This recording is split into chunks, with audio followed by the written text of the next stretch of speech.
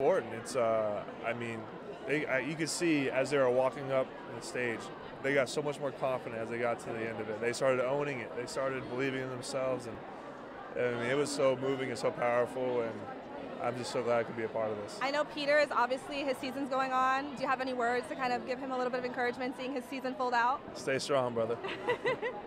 Uh, awesome. And I'm also a Florida native like you are. Hey, there we go. Yeah, standing of like the Florida kind of coming into the vibes of Fashion Week over here. And how do you feel like being from Florida and coming over here to New York? Uh, I, I love being from Florida. I'm always going to represent Florida, uh, but it's great, you know, you know, being here in New York. It's a different city, different animal, uh, you know, but it's it's been it's been great. Yeah, it's very cool to see it and see, you know, my life's changed quite a bit since the show, and it's provided a lot of great opportunities. I had to see a lot of amazing things and to be a part of something like this is what it's all about. So. Well, thank you so much. Do you mind if I grab a picture with you really quick?